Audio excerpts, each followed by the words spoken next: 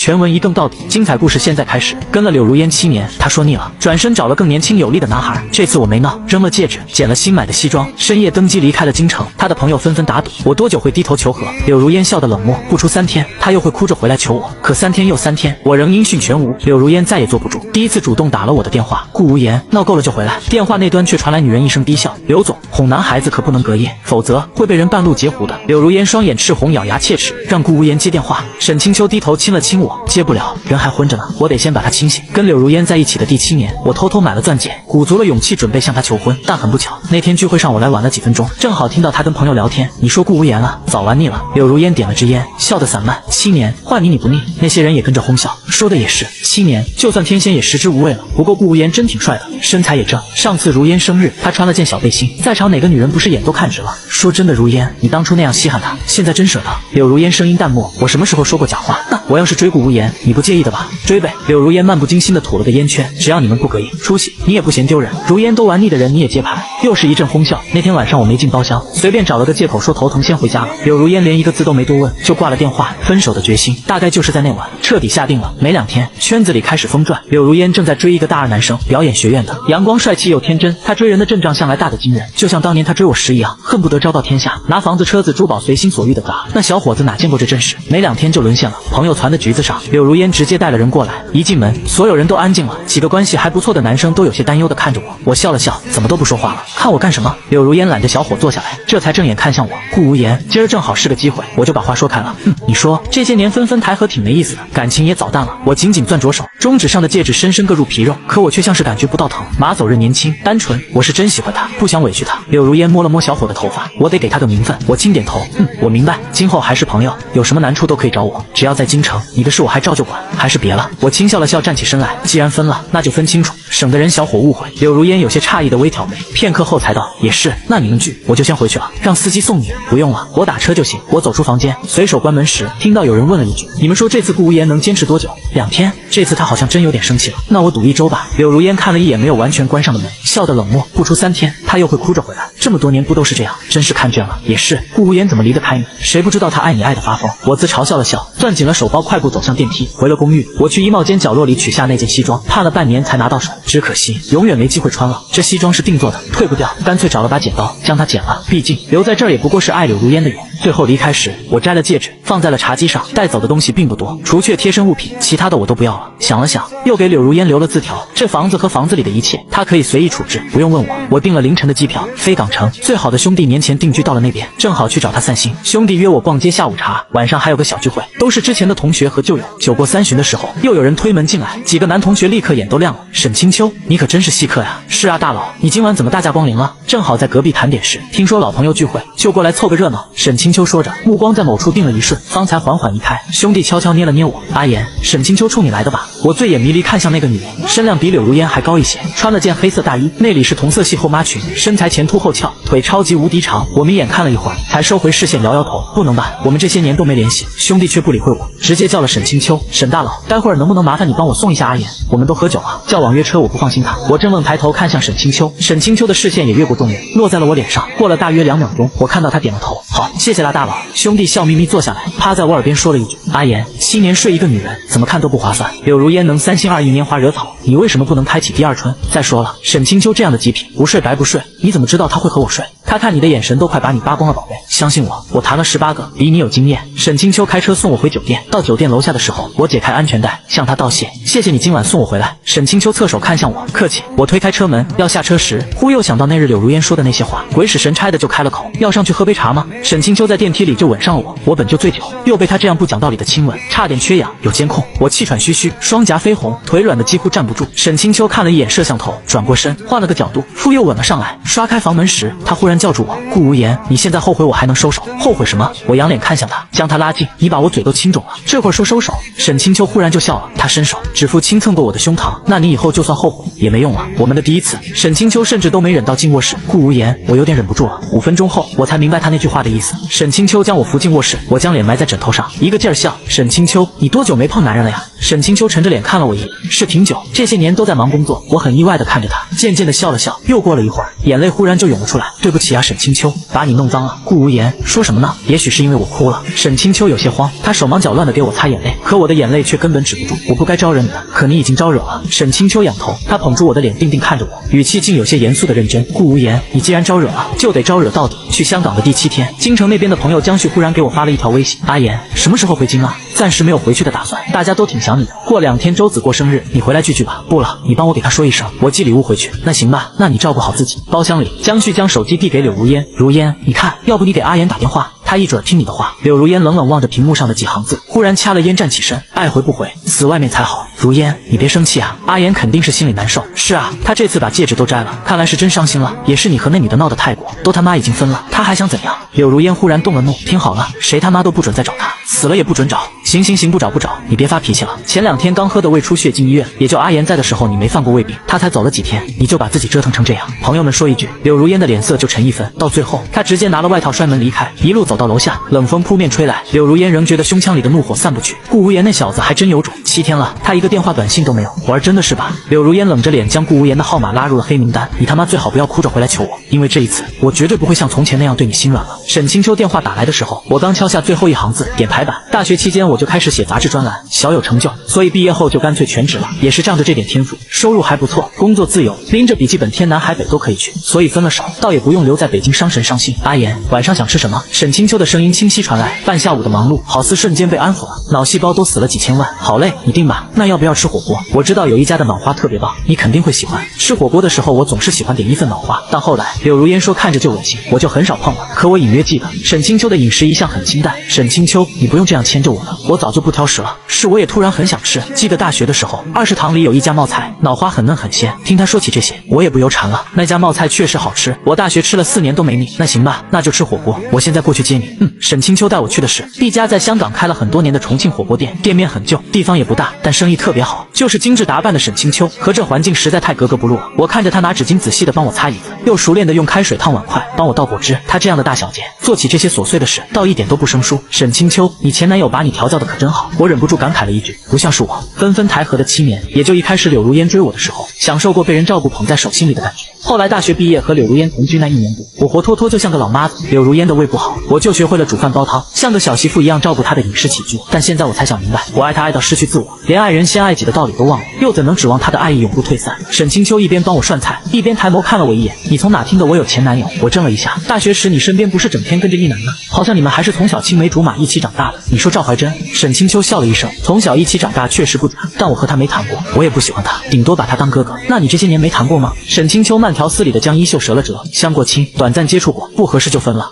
那后来就没有过了吗？我垂了眼眸，想到那天晚上他初次的表现，好像他这话的真实度就可信了数倍。顾无言，我下次不会了。沈清秋突然的一句，让我一头雾水。什么不会了？他偏过脸，轻咳了一声，大概是滚沸的火锅热气蒸腾的缘故，他的耳朵红得惊人。待会儿你就知道了。沈清秋将煮好的脑花舀给我吃吧，一直到他送我回去酒店。洗漱完，他把我按在床上，我才突然明白他之前那句话是什么意思。只是当时我整个人都要虚脱了，发丝不知汗湿了多少次，连指尖都软得发颤。可沈清秋仍没有结束的趋势。沈清秋，我忍不住瞪他，可眼底蒙了一层水汽，看起来更招人了。喊他名字的声音却又仿佛含着娇嗔，怎么都不像真生气的样子。沈清秋轻轻吻我，阿言，你舒不舒服？我摇头，不肯回答他。他也不恼，只是节奏从疾风骤雨变做了磨人的温柔缱绻。我被磨得受不住，生理性的泪都从眼尾阴了出来。沈清秋，声音里已经带了难挨的哭腔。阿言，现在告诉我舒不舒服？沈清秋一时隐忍的红了眼，额上的汗一颗一颗往下砸，那种快要冲到云端，却又总是差一点点的感觉，折磨得我小声哭了出来。舒服，舒服的。他如同大功率工业吸尘器一般，将我的灵魂一并抽走。最后我的意识被抽离时，沈清秋在我耳边很低地说了一句：“阿言，舒服了，就永远都不要离开我，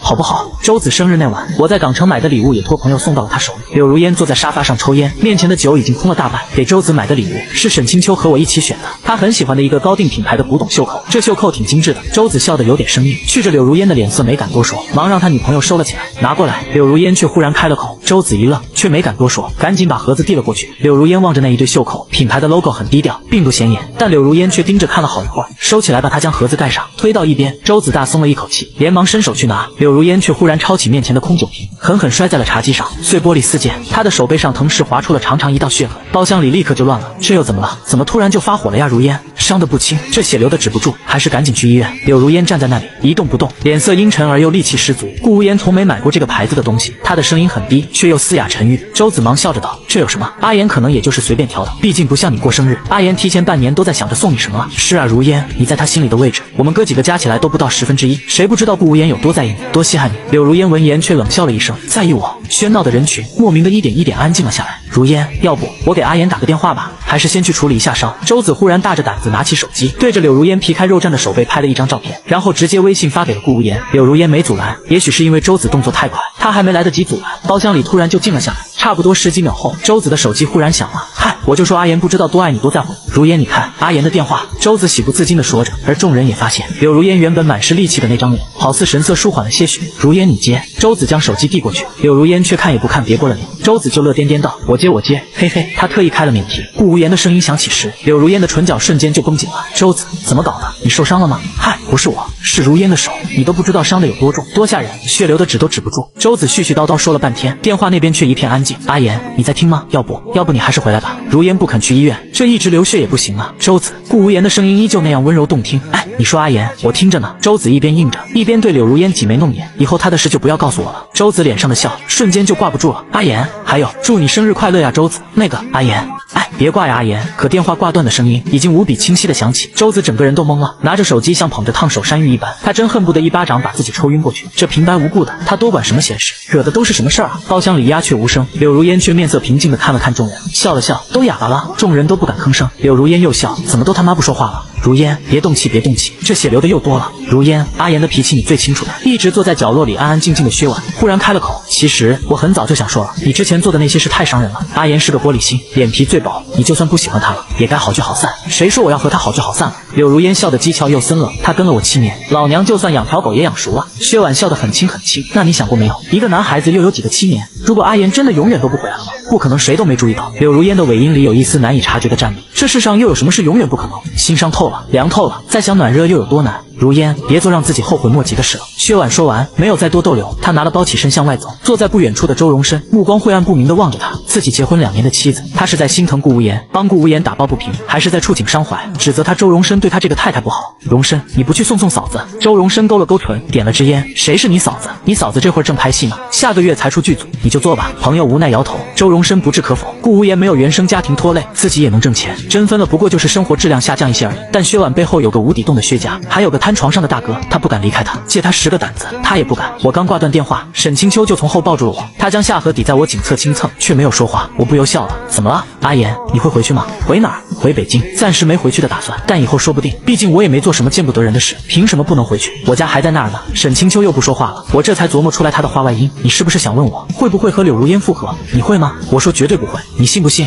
沈清秋垂了眼眸，高挺的鼻梁轻蹭着我的侧脸。我想相信沈清秋，我也有脸，也有自尊。那你心里还有他吗？我认真想了想，如果我说一点都没了，也不现实。毕竟这么多年了。沈清秋忽然轻咬了我一口，别说了，阿言，你听我说完。但要说这种感觉是不舍或者不甘心，却也不是。我轻摸了摸沈清秋的脸，和他分开，我并没有多痛苦难受。所以，也许我早就不爱他了。也许从他对这段感情开始心不在焉的时候，我就已经做好了分手的准备。我不会的，不会心不在焉，不会三心二意，不会让你哭让你难过。沈清秋抱我抱得越来越紧，到最后他又吻住我。阿言，跟我在一起吧。可我没有迎合他的亲吻，甚至到最后，我轻轻将他推开了。沈清秋，对不起。为什么说对不起？他低头看着我，眼底有些微红，是我自己的问题。我避开他的视线，我不想再谈感情了。那这些天我们之间算什么？沈清秋握住我的肩，声音都在颤。顾无言，你把我当什么？我紧紧攥着手心，深吸了一口气，就当我们各取所需。如果你愿意，我们可以继续保持这样的关系。如果你遇到喜欢的人，随时都可以结束。什么样的关系？解决生理需求的工具。你也可以这样认为。我不肯抬头看他，怕自己会忍不住掉眼泪。沈清秋，我很抱歉，如果这样相处让你不舒服，我马上就离开香港。我发誓永远都不会再打扰你。顾无言，沈清秋眼底一片赤红，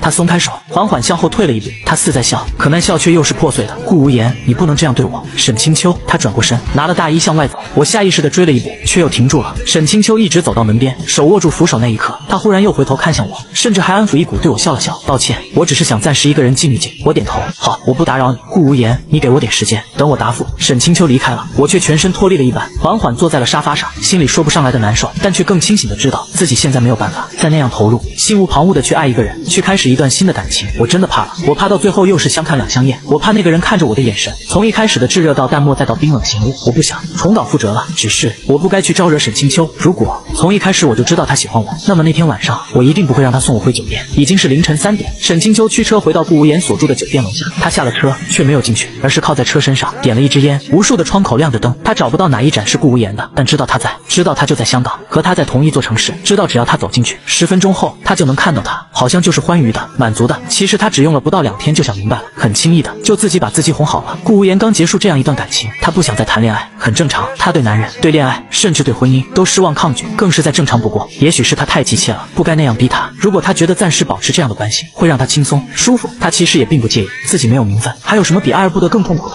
如果若说有，那应该是一年半前吧。得知顾无言和柳如烟开始同居的时候，那时候也是真的决定放下了，所以才会试着去相亲，去接触新的人，想要走出来。但是他尝试过，发现不行，就果断的结束了。后来不管家人怎样催，他都再没动过这样的念头。如果顾无言没有分手来香港，如果那天晚上他没有开口让他上去，也许他这辈子都会孤身一个人。沈清秋掐了烟，眸光渐渐平静坚定。但顾无言偏偏来了香港，偏偏那晚他开了口，如果心爱的女孩子到了自己身边，却仍被他弄丢的话，那沈清秋你也就没资格拥有想要的幸福。准备离开香港的前夜，我约了兄弟喝酒，和沈清秋进展如何了？兄弟上上下下打量我，啧啧啧，看你满脸春色，皮肤嫩的能掐出水，就知道沈清秋把你滋润的不错。我还是别耽误人家了，我不想恋爱，也不想结婚。阿言，你为什么要用别人的错误来惩罚自己？更何何况这对沈清秋也不公平。都说前人栽树，后人乘凉，这道理我赞同，但没道理前任造孽，现任遭殃吧？那柳如烟不是个东西，但沈清秋却是个值得托付的好女人。你为什么要因为柳如烟对沈清秋心存偏见？我不是对她有偏见，我是自己还没过去这个坎。你不是还没过去那个坎，你就是被柳如烟这狗女人扑了七年，你觉得自己不配拥有真爱和幸福了？我闻言不由怔住，是这样吗？因为患得患失、纷纷抬合带来的痛苦纠结，因为极度缺乏安全感，从而草木皆兵，所以我潜意识的怀疑所有人，怀疑全世界，认定自己不会得到一心一意的爱。可是为什么我不可以得到真挚的爱？辜负真心的人要吞一万根针，可认真爱过的人，上天自会给他开一扇新的窗。宝贝，你知不知道你多好啊？兄弟搂着我，轻轻摇晃，这么帅，身材这么劲爆，大学的时候就能赚钱养活自己，还顺便养活我，又帅气又能干又善良。我要是女人，我死也要嫁给你。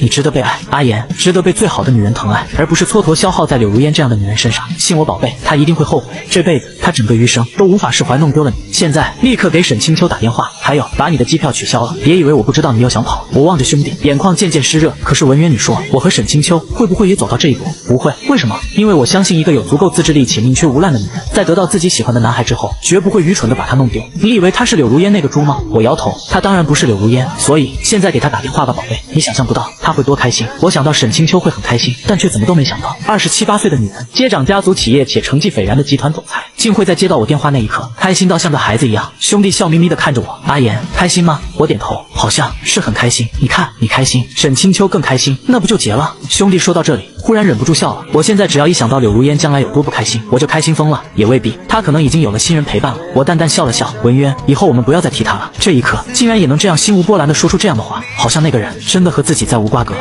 沈清秋的车子到楼下的时候，我刚好从酒吧出来，她站在夜风里向我张开双臂。我停了脚步看着她，别说，她还真是长得好看，无一处不在我的审美点上。女人可以同时喜欢无数个男人，没有分手就脚踩两条船，无缝衔接，甚至都不算糟点。那我分手后再谈恋爱，自然也没有错。我向她走去，她亦是大步向我走来，人来人往。我和沈清秋旁若无人的接吻，他的心脏跳得好快。我摸到他的后颈，一片滚烫。沈清秋，你发烧了？他的额头抵着我的，轻喘，声线低沉。顾无言，我不知道自己怎么了，碰到你就会这样。我轻笑，多碰几次就好了。沈清秋的耳朵更红更烫，他捧住我的脸，看着我的视线滚烫。顾无言，我现在算什么？我故意逗他，你自己觉得呢？炮友还是女朋友？他问完，却又不等我回答，将脸埋在了我颈侧，小声道：“算了，你别回答，我现在不想知道了。”我的手轻轻圈住他的腰，与他贴得更紧。真不想知道吗？女朋友？柳如烟的车子停在了一个胡同口，她下车，徒步走进胡同深处，那里住着一个老裁缝，祖上曾做过江南制造，如今年纪大了，早就闭门谢客。但柳如烟有的是办法请动这个老人家。顾无言捡烂的那件西装，半个月前送到了老师傅这里，今日差不多已经可以修复完工。他一边走一边想，周子前两天说的那句话没错，男孩子都渴望穿上西装迎娶喜欢的人。他和顾无言好了七年，他却从来没想过求婚，他更没想到顾无言会有过向他求婚的念头。这些日子他确实做的混账，但那些男人他不过都是一时兴起，没动过真格儿。就连那个闹得顾无言分手走人的马走日，也只不过让他新鲜了三天，接触之后他就觉得索然无味。心里总还是念着顾无言。七年的相伴，他确实倦怠过、腻过，但有些人就像是无色无味的空气，直到失去，才会觉出他有多重要。顾无言不在的这些天，他干什么都提不起劲，和朋友聚会时满脑子也都是他。尤其喝多的时候，顾无言如果在，一定会佯装生气的拦着他；如果实在拦不住，他也会深夜给他煲汤，让他枕在自己的膝上，给他揉着太阳穴。他的手指很软，细碎的抱怨和心疼的念叨，当时很烦，现在却又无比的怀念。柳如烟想，这次顾无言回来，他决定向他求婚。他其实很早就知道顾无言有多想迎娶她，给她婚姻，他会安心，会原谅他的吧。老师傅的手艺是真的很不错，西装已经修复的几乎和原来一模一样。柳如烟付了钱，离开的时候，手机忽然响了，她莫名的有些紧张，直到看到周子的名字在屏幕闪动，疯狂跳动的心才缓缓平息。如烟姐，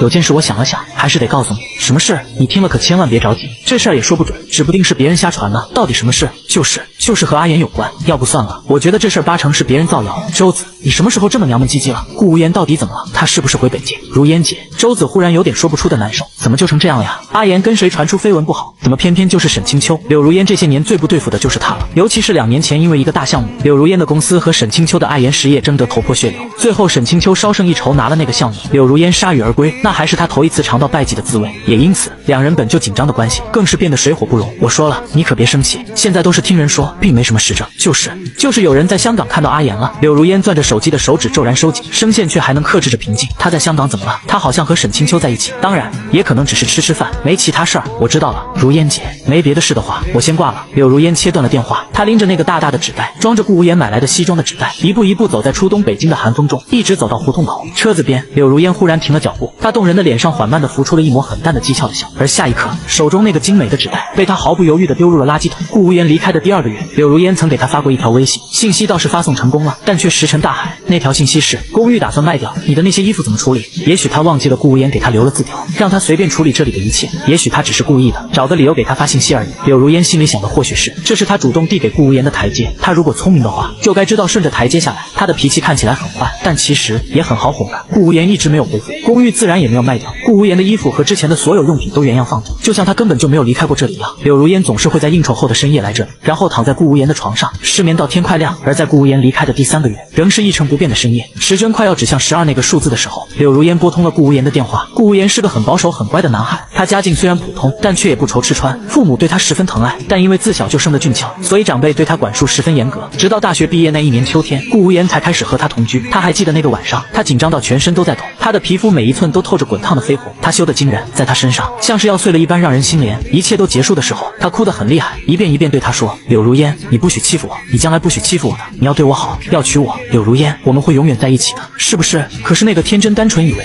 会永远和自己喜欢的女人在一起的顾无言，已经被他弄丢很久了，久到他甚至都要想不起来，他们最后一次说分手的时候，他是什么样的表情？他是笑着点头的，还是红了眼落了泪？手机铃声响了好一会儿，就在他以为他不会接的时候，电话却接通了。那一瞬间，其实他想说阿言。你回来吧，可张开口说出的却是顾无言。闹够了就回来。他这愚不可及的可笑话语被一声女人的轻笑打断，那一声笑像是兜头而来的冷硬坚冰。柳如烟只觉自己全身好似都被坚冰包裹，竟是动弹不得。刘总。哄男孩子可不能隔夜，否则会被人半路截胡的。沈清秋，柳如烟双眼赤红，咬牙切齿般念出这个名字：“是我，沈清秋。”顾无言呢？你让他接电话。柳如烟的眼底仿似充了血一般，红得摄人。她紧攥着手机，低吼的声音却在颤抖：“沈清秋，你他妈要是敢趁人之危，他接不了。”沈清秋低了头，轻轻吻了吻他的男孩。顾无言的睫毛上还挂着一颗眼泪，嘴巴瘪着，虽然闭着眼，但那张脸上却写的全都是委屈。他的心软的无法自持，吻在他的睫毛上，将那颗泪吮去。人还昏着，生我气呢，我得先把他清醒。沈清秋，柳如烟的声音戛然而止。沈清秋切断了电话，随手关了手机。他的吻落在顾无言微肿的唇上，宝贝，醒一醒。其实我有想过和柳如烟再见面会怎样。她家境优渥，骨子里傲气十足。我们分手又分得平和。哪天若是真遇上了，要么他会视而不见，要么我们也能点头寒暄问声好。毕竟我的父母亲人都在北京，我和柳如烟也有一些共同的好友，总不可能一辈子都没半点交集。但我却怎么都没想到，那样高高在上被人捧着的大小姐，也会有这样失态落拓的时刻。而当时因为睡得很饱而心情特别好的我，整个人就像一只饱满而又甜蜜的水蜜桃。我搂着沈清秋的腰，说笑着走出旋转门，然后就看到了从车上下来的柳如烟。我怔了一下，脚步停住。沈清秋温热的手指轻轻握住了我的。柳如烟的裙子有点皱，她脸上带着掩不住的倦意，眉宇深蹙着，眼底满是红血丝。我们身侧人来人往，不远处的音乐喷泉播放着欢快的音乐，这一幕就像是电影里的慢镜头。只是我不是看客，而是猝不及防的主角之一。也许是柳如烟此时的模样太让人意外，沈清秋下意识地将我护在了身后，可柳如烟的神情却十分平静，她如从前热恋时那样温柔喊我名字，阿言。我。站着没有动，耳边的音乐声仍在欢快回荡。可不知为何，我的心里却有些说不出的难过。也许是为那天晚上听到不堪话语的顾无言，也许是为那天被临时通知分手的顾无言，更也许是为傻傻爱了七年，可彻底放下却只用了七天的顾无言。阿言，我来接你回北京。柳如烟自始至终都没有看沈清秋，她的眼神落在我脸上，竟无比的温柔。我甚至记不得我们分手前有多久，她没有用这样的眼神看我了。柳如烟在我身前差不多一米处停了脚步。阿言，我们回去就结婚，以后我们好好过，好不好？他说的那样认真，认真到我几乎都要以为不久前说要给别的小伙一个名分的柳如烟，只是我的臆想。可是太晚了呀，柳如烟碎掉的心拼不起来的，而在沼泽里长出来的新的心脏也已经装了别的人。我轻轻摇头，柳如烟，你走吧。阿言。我没有碰过马走人，不到三天我就和他分了。你买的西装我已经找老师傅修复好了，还有我们的对戒，我也都好好收着。阿言，我还定制了钻戒，我是认真的。柳如烟的眼底越来越红，声音也有些隐隐的发抖。她捧着那个精致的钻戒盒子，献宝一样递到我面前，眼底的可盼和希冀，无比的小心翼翼。我看着这样的她，无法不承认自己仍会难受。但也仅仅只是这些难受了。柳如烟，我已经有女朋友了。我紧紧握住沈清秋的手，从他身后走到他身边，与他并肩而立。柳如烟脸上的血色好似一瞬间就消弭无踪了，她的视线缓缓地往下滑，最后停在我和沈。清秋交握的手指上，我们的中指上戴着一对对戒，就像当初的我和他一样。阿言，你是认真的？我深吸一口气，侧脸看向沈清秋，然后用力点头，是认真的。柳如烟忽然低低的笑了一声，你以为他对你是认真的吗？你以为他又能有多少真心？两年前他为了一个项目和我争得你死我活，如今他又追求你。顾无言，你觉得这里面有没有他的私心？他敢不敢坦坦荡荡的说，他追求你，没有半点要和我柳如烟走的心思？顾无言，你还是这么天真。这天底下的乌鸦一样黑，天底下的女人也一样。你跟了我七年，我们之间发生了那么多事，你以为沈清秋真的一点都不会介意？你又以为他就能真的和你修成正果，白头到老？你就不怕跟他在一起的结果，不过是又一个和我这样的七年？欢快的音乐声不知什么时候停了，柳如烟的声音也停了。我耳边先是一阵的空寂，接着却是什么东西轻轻碎掉的细微声响，而那声响之后，却又是无比的轻松和释然。你看，我连最后那一些难过都没有了，只是好可惜。为什么人活着总要有一些后悔的事？在今天之前，我没有后悔爱过柳如烟，不管好坏。毕竟都是我的经历，但在这一刻，我无法不去痛悔。为什么七年都没有认清楚柳如烟？她其实骨子里从来都没有看起过我。沈清秋满眼心疼的将我拉到了怀中，我脸色有些白，却还是笑着对她摇摇头，我没事儿。沈清秋，乖，你先去车子上，这里交给我，我要和你在一起。我攥住她手，不肯松开。沈清秋定定看了我一会儿，忽然用力亲了亲我。阿言，我沈清秋做人做事从来都问心无愧，从来不会后悔。但今时今刻，我却真的后悔当初为什么没有把你从他手里抢过来。你有什么资格跟我抢？趁人之危，你沈清秋又算什么女人？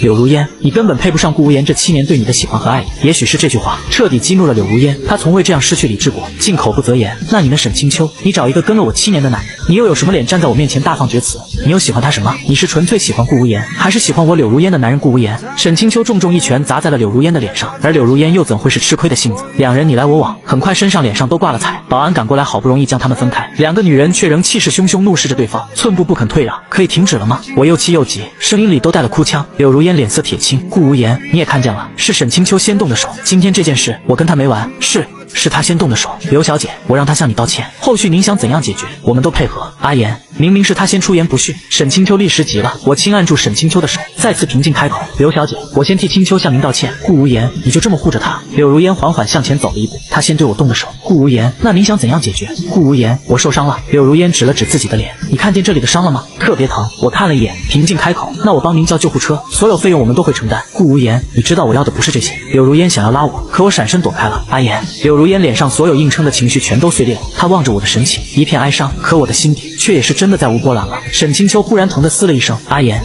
你看我是不是要毁容了？”我忙转过身，面前的女人嘴角破了，眼下也一片肿，下颌上沾着血，看起来还真是唬人。我从拿了纸巾帮她擦拭，疼。阿言，轻点。轻点，沈清秋夸张的龇牙咧嘴，该我小声斥他，却还是心疼的放轻了动作。要去医院缝针，那你陪我，我晕针。我忍不住瞪他一眼，却还是点了头。沈清秋就一把抱住了我，我还要你亲我一下，这里疼死了。我在他的伤口处轻轻落下了一个吻。柳如烟没有再说话，夕阳把他的身影安静的拖长。也许是在顾无言给沈清秋擦拭脸上血渍那一瞬，也许是在顾无言哄着沈清秋吻他的时候，他才终于清醒的认识到，顾无言是真的不再爱他了。薛婉那天的一句询问，竟就这样成了真。顾无言不会再回来他身边。他以为能轻易放下七年感情的人是他自己，他以为这段感情。里占据主动的人也是他自己，他以为他永远稳操胜权，可这一刻他才明白，放不下的人是他柳如烟。顾无言是那根牵着风筝的线，线断了，风筝就失去了方向，再也回不了家了。我看着柳如烟转身向车子走去，看着他寂寥的身影消失，黄昏时的太阳忽然就被地平线吞没了，天幕变成了浅淡的玫瑰蓝。柳如烟的车子渐渐远去，我仿佛看到顾无言从十七岁到二十四岁那七年的时光，随着那辆车呼啸远去，再无影踪。我知道的，从这一天起，柳如烟三个字就如这世上每一个普通平凡的名字一样，我不会刻意遗忘，但却也。永远不会再主动想起。阿言，沈清秋轻轻将我拥在了怀中，我回头仰脸看他，笑得很轻。走吧，我们去医院。沈清秋求婚那晚，喝了很多酒，抱着我说了很多很多的话，但我记着的，却好似也只有那最简单的两句。顾无言，我们绝不会有那样一个七年。顾无言，我们绝不分手。每个人在发誓的那一刻，必定是真的这样认为。后来违背誓言的时候，却又觉得怎会有人相信这东西？但我愿意相信沈清秋，其实是相信自己，相信自己值得被爱，相信真心总有那么一次不会被辜负。我和沈清秋订婚那天，收到一份从京城寄来的礼物，是我曾经买回来的那件西装，被柳如烟找师傅修复过。盒子里还有一张卡片，上面的字迹是柳如烟的。她说：“阿言，我总会等着你。”沈清秋在我身边也看到了那张卡片，她笑得很自信，在我脸上用力亲了一口。可惜了，我不会给她机会的。但当晚那西装就不翼而飞了，而我